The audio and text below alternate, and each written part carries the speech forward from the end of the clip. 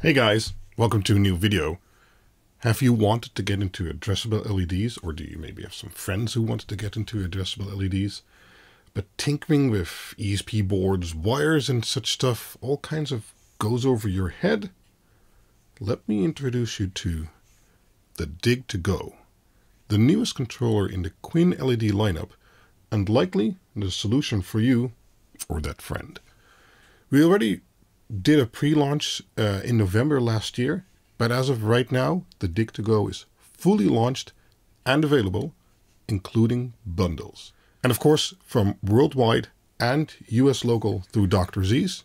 So let's take a look at what, well, this controller is all about and how even you or that friend, we're talking about that friend, can get started with addressable LEDs in less than five seconds. Or if you're already experienced with addressable LEDs, it's by far the easiest controller to have nearby.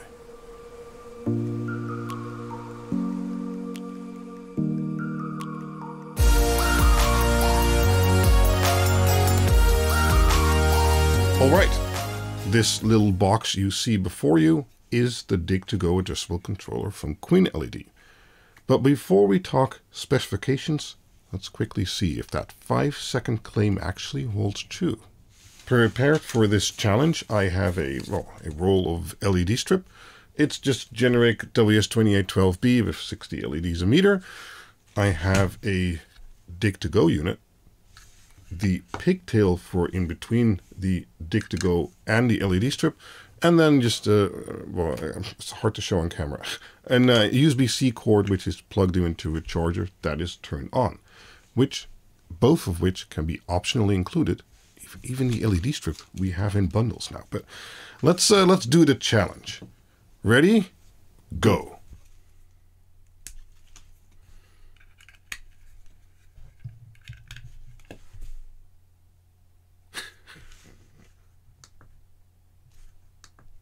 and stop the time. Ha! Well, whatever time that was, this is a script I'm reading, that was quite fast. This controller is literally the definition of plug and play. You plug in the LEDs, you plug in the pigtail into the controller box, you plug in power, done. Everything else is pre-installed and pre-configured. No soldering, but not even screwing in any wires.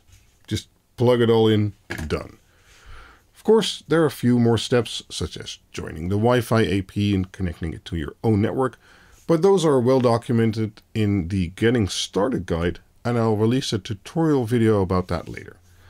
But as far as setting up the controller for basic functionality goes, it doesn't get much easier than this. And while this box is small, it fits, literally fits in the palm of my hand, and limited in some regards, it packs more features than most controllers out there. So, specs. The Dig2Go is made using a fully custom, high-quality molded plastic housing. Inside of there, there is a full-fat ESP32 with 4 megabytes of storage that runs the show with plenty of power to drive lots of LEDs. It accepts USB-C in, just like your phone, up to 5 volt 3 amps, so there is a total of 15 watts of power available. It has multiple internal protection circuits, such as auto reset fuses and such, if a failure would occur, and has a fully optimized level shifted LED driver circuit, making sure your LEDs are always driven optimally. Next to those things, it has a few other awesome features up its sleeve, such as having a built-in relay circuit, so that if you want to use this controller using a USB power bank, it's very well suited for that purpose. When you turn off the LEDs, they also don't draw any power anymore in standby, and the controller just sips about 0.4 watts of power, ready to be turned on again.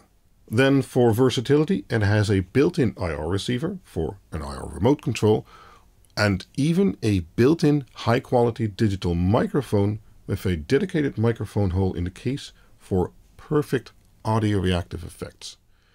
So, this thing reacts perfectly when talking to it. Nice.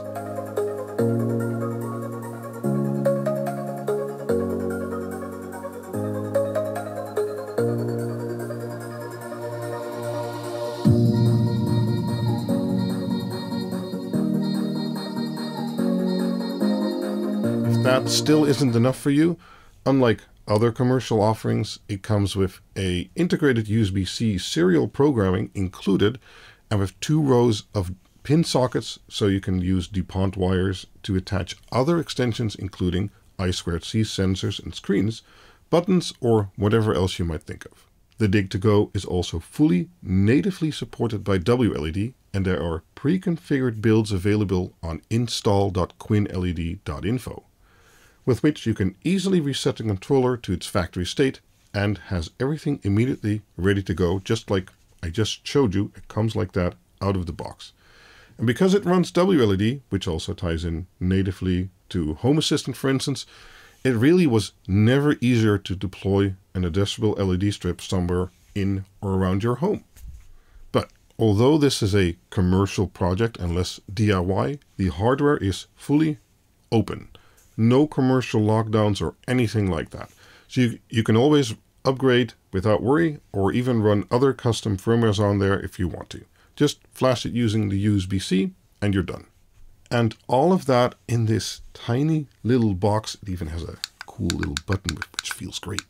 uh, that literally fits in your hand. You can easily take anywhere. So if you've been looking for a no hassle controller that you can deploy anywhere or even take with you and use on the go, I believe this is it.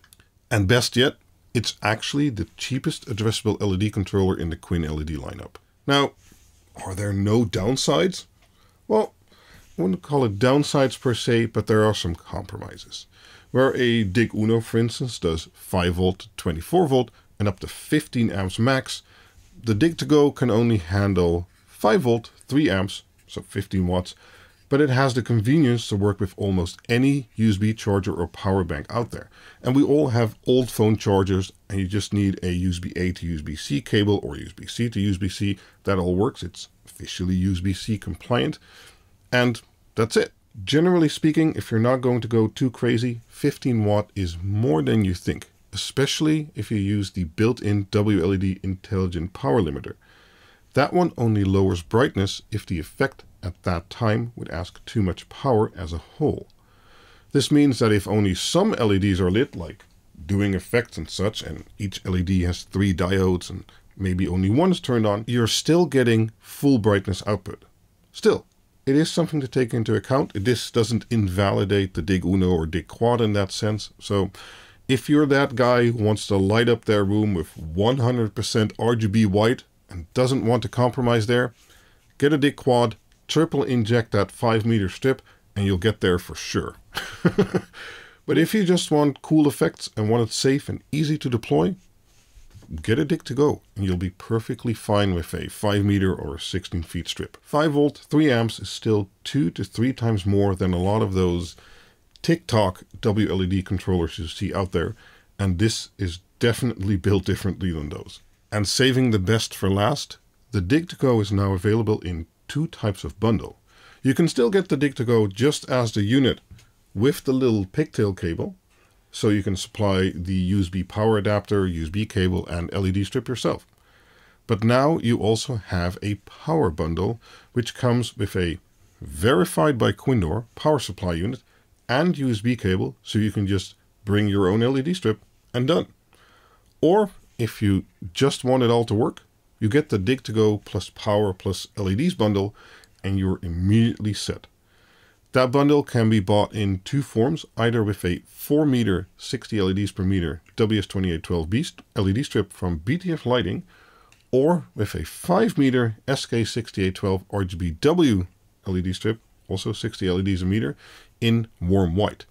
This strip is not from BTF Lighting because I felt a different supplier was able to offer a better quality strip for a lower price. So if you've been looking to liven up your child's bedroom with some cool LEDs or you have a bar you'd like to add a strip to, maybe you have some props which are fine with Wi-Fi control or you want to have addressable LEDs on your next cosplay suit or even on your next camping trip, the Dig2Go will easily enable all of those use cases and you just plug and play and you're done. Now, to make sure everyone has an easy time using the Dig2Go, I've set up the usual pages on quinled.info, but also made a dedicated website for just the Dig2Go, including an extensive getting started guide helping you to get up and going and answering maybe some first questions.